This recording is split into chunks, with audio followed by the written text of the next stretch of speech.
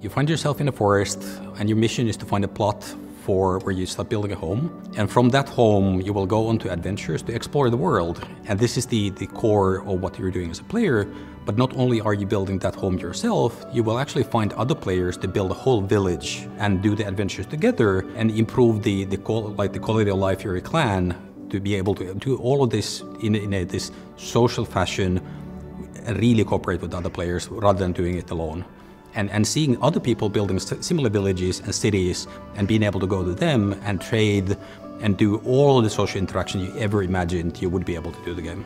So with the lore, we have wanted to create something that is fairly like deep and rich and grounded in reality, but something that is actually not a direct copy of like any of the history.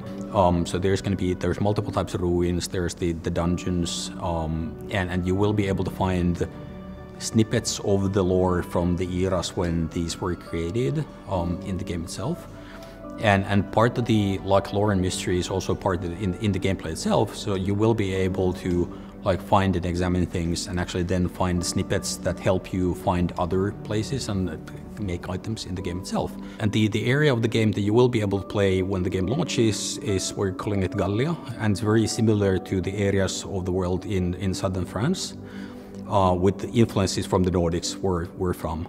Development team were mostly Europeans. Obviously, we are living in, in Europe where there's a lot of culture and lots of historical influences around us. So we're here in this 14th century castle um, shooting this and actually I've been coming here multiple times and like seeing the evolution and history of Europe is obviously had a massive influence in how we made the game where all the items, like all of the nature is something we actually see in, Europe. And so we want to reflect this uh, very medieval feel in the game. With building the ideal medieval world or medieval, fantastical medieval world, it's inspired by real world. Um, the first region we are uh, working with now is uh, inspired by France. Uh, we call the region Gallia. And uh, and at the time, maybe 13th century, this is a very central point of Europe. So we're very much uh, using the uh, the forests and the, the, the, natural elements of southern France or France or the Pyrenees uh, currently. And this means that you know the the flora is uh, authentic in the sense that the combination of, of flowers and uh, and wildlife matches. Here we have thousands of years of lore building, which happen, you know, in, in folklore and mythologies and you know and, and religions, and we we built it straight into the game. If you find something in the game, it is highly likely that this thing actually exists in the real world, and you can read about it on, on Wikipedia. As an example, the legend of the basilisk.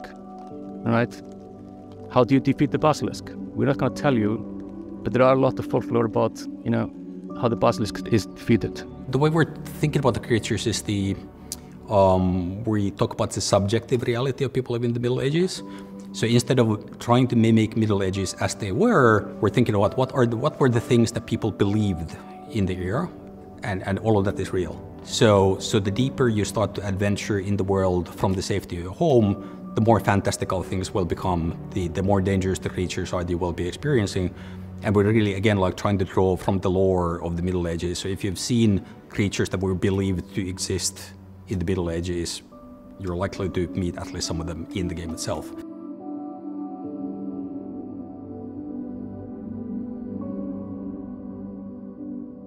Same with the costumes. Uh, we have been researching uh, medieval costumes from multiple areas, and we're kind of focusing on the 12th to the 15th century and uh, we're using the same colors, we're using the, the dye recipes from, from that era. Um, but at the same time, it is kind of a cinematic reality. So the armors are, you know, beautifully engraved, and it is, you know, very beautiful things based on real-world items. Because there's an amazing amount of stuff uh, in the real world which is so incredibly well made and beautiful from these times. And the gear that you're using, we don't have like deep fantasy gear with like fancy spikes all over the armor as opposed to actually wanting to make something that feels very grounded and real, even if we made something that is like look extremely beautiful, like a lot more intricate than people would have had in the Middle Ages. So we want to have this level of fantasy and and and um, kind of like just awesomeness to everything we're putting into the game. um, while it all being very grounded in kind of the what we've seen ourselves in what Europe is and like what the history of Europe has been. And we feel that is a lost opportunity in a lot of uh, fantasy games which kind of invent their own visual styles out of nowhere. And this kind of grounds everything together and ties it together in a very meaningful uh, package.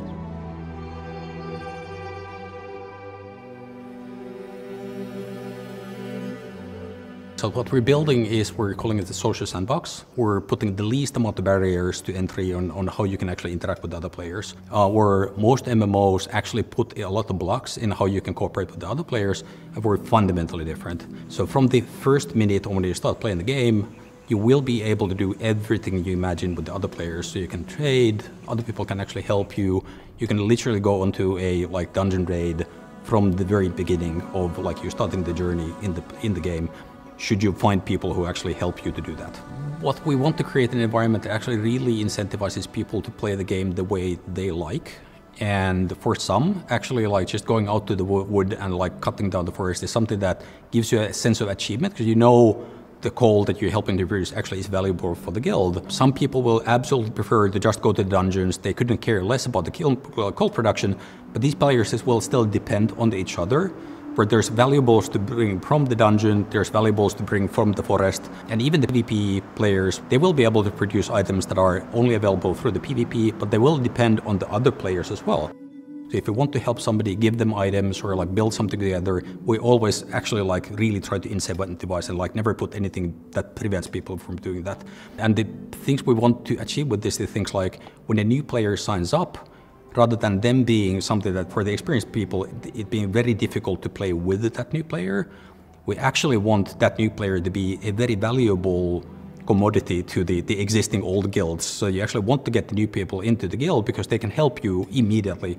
Um, so for example, crafting the armors, you obviously need a lot of coal to be able to do the blacksmithing. And a new player can just like immediately after signing up, you can get them to your home, give them an axe, show the cut, how to cut down the tree, how to bring the wood to a kiln, and that's immediately valuable for the guild as something that the new player can do. And you will need to continue to do this even after you've been playing the game for a very long time.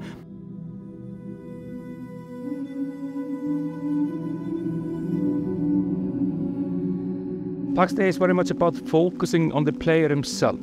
So uh, the, the hero's journey of it, each individual player it's very much up to him or her, you know, what, what choices he or she makes uh, through the game. And more so than being an individual's hero's journey, it's also the journey of, you know, creating civilizations within the game. So you must start by building your homestead, join up with a few people and you form, you know, a nucleus of village, which then grows into a town and even a city.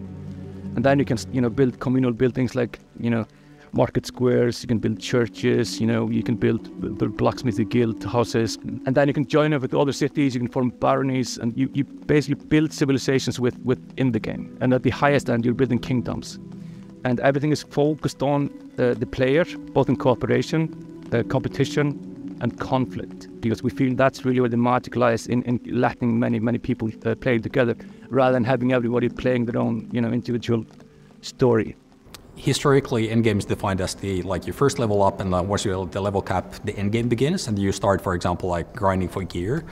Essentially in Pax Dei you start at the end, endgame. Like we don't have a level progression.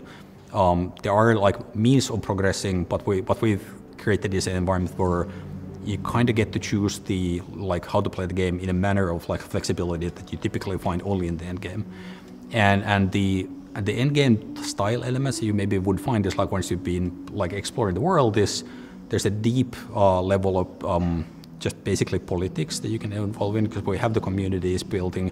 Somebody's going to need to lead the communities. Uh, with PvP, you need to rally your troops to actually go and do things, um, and and the and you will be able to do things like corner the market in how like people are able to get resources and are the best crafters so there's this deep layer of social interaction that we're building into the game and all of the kind of things where you can be like a master of in the real world, you kind of can master in, in Pax Dei. All of our systems tend to focus on this, not only in like uh, clan tools or, or how the how the player economy is run, but also creating you know positions of positions of power within the feudal system and within the organizations in the game. So this is a game where you build civilization from the ground up with all the positions of power involved in feudal feudal system, and we find that incredibly exciting. and this means that you don't start as a level one knight; you become the knight. You don't start as the leader of the guild uh, of blacksmiths; you become it. And uh, there's only one pope.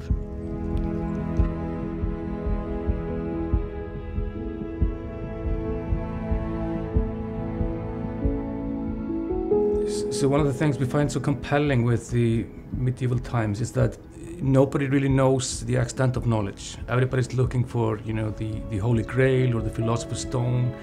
And because so much knowledge has been lost uh, and technology has been lost, you know, in the dark Middle Ages, people are always on this quest of, of finding or rediscovering this, you know, old magic or... And it's something we want to recreate uh, in the world. And you will find these mysterious uh, things or parchments of paper and and you can uh, actually, you know,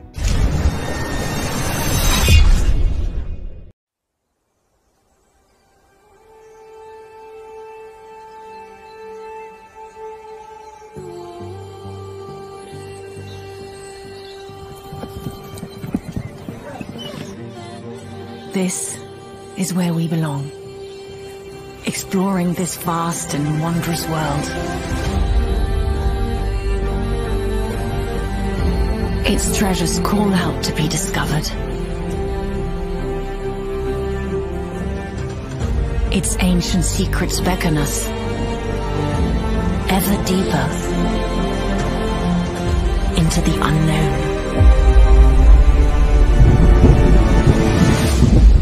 The further we journey from the safety of the light, the greater the rewards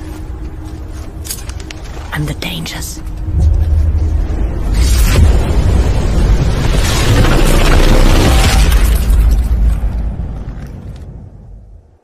This world, it is for us. Here, together, we can build ourselves a home.